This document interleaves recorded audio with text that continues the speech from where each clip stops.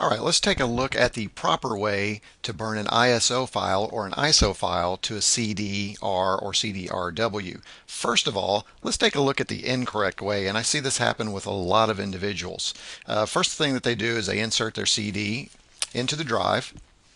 And of course, I'm using a Mac, uh, and so what will happen is after a second or two, Finder will pop up and say you've inserted a blank CD. At this point, most people will say okay. They click OK. Then they come over here and they double click on the drive and they find their ISO file. They drag it over. They do that and then they hit the burn. That is the incorrect method for transferring an ISO file to a CDR. What you need to know is this is an exact duplicate of a CD and it's been compressed and put into a single file. What we need is some software or a way to decompress that so that all the files are placed on the CD in the proper position position in order. So in order to do that, I'm going to go ahead and close this. I'm not going to burn it because again, that would be incorrect. I need some software or a way to take that whole package for me and place it on the CD properly. Now, I like Burn on the Mac, so uh, and that's a free download. You can find that online. Just simply do a search in Google for Burn and OS X usually will bring that up for you. So I'm going to bring that up. So I pull up Quicksilver and I'm going to type B-U-R-N. You'll see that show up.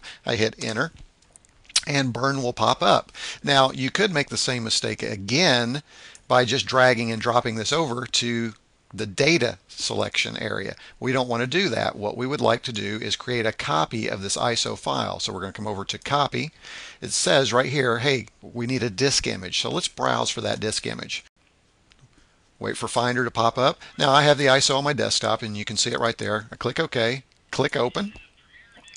Once we see that, it'll come up and show you that, hey, it's this. It's a DVD CD master. There's the size. Now, what's interesting about Burn, if you're not sure what's in within that ISO, you can hit the mount.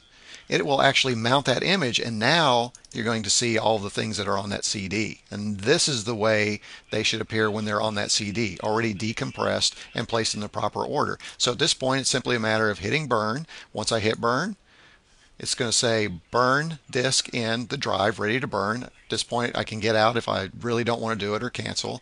And actually, this is ejecting the CD, or I can cancel, or I can hit burn. Now, once I do that, you'll start to see the burning to drive status.